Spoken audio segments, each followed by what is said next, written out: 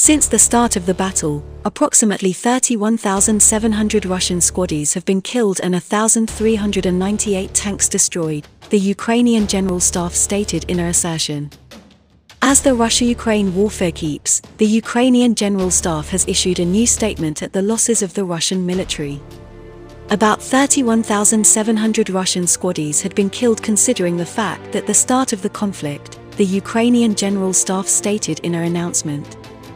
398 tank of the Russian Navy announcement also 1,000, 3,438 armored automobiles, artillery 711 system multiple release rocket machine 213, 96 antiplane fight machine, 212 plane, helicopter 178, 2,421,000 motor vehicle and gasoline truck.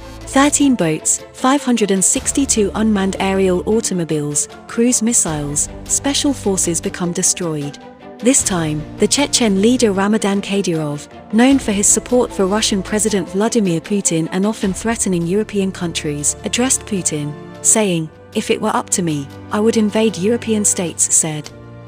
With the third month left in the Russian occupation of Ukraine, the Chechen leader Ramadan Kadyrov, known for his closeness to Russian President Vladimir Putin, raised his hands, said that they are ready to defeat not only Ukraine, but also other European states.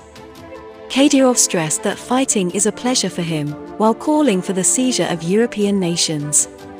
Kadyrov described the Russian invasion as a war for the good and happiness of the people, while also calling on Ukrainian President Volodymyr Zelensky to surrender. Kadyrov, in his published video, stated that they are actually fighting against NATO, while stressing that this is a pleasure for them. He also claimed that the West would withdraw sanctions against Russia and would have to apologize to Putin,